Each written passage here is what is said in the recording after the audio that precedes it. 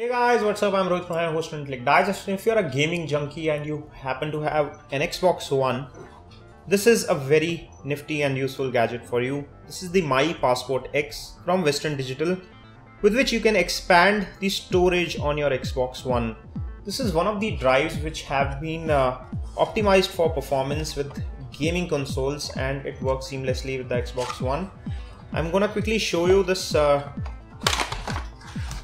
drive and give you an overview of what you get with this. Uh, this is a quick unboxing and not a review. I'm just going to show you what all you get and this is a quick hands-on.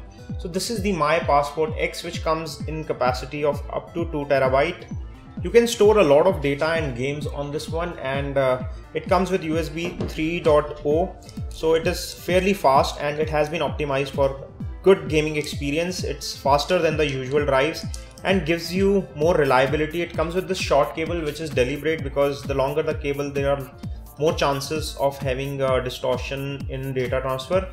One end of this is a USB 3 which goes into the drive here and the other end goes into your Xbox. Uh, you can also use it for performance oriented tasks like video editing, graphics editing, gaming and other tasks which require high data speeds as well as higher reliability when it comes to data transfer when you require an external drive. This is all we have on a quick hands-on. Uh, we'll be testing it later on and we'll probably come up with a review uh, later on. This was just a quick unboxing. If you enjoyed watching it, don't forget to give us a thumbs up. If you want to pick up one for yourself, it is a thumbs up from us. You can buy it from the links provided in the description section below. I hope to see you on my next video. This is your host Rohit Khurana signing off. Thanks for watching.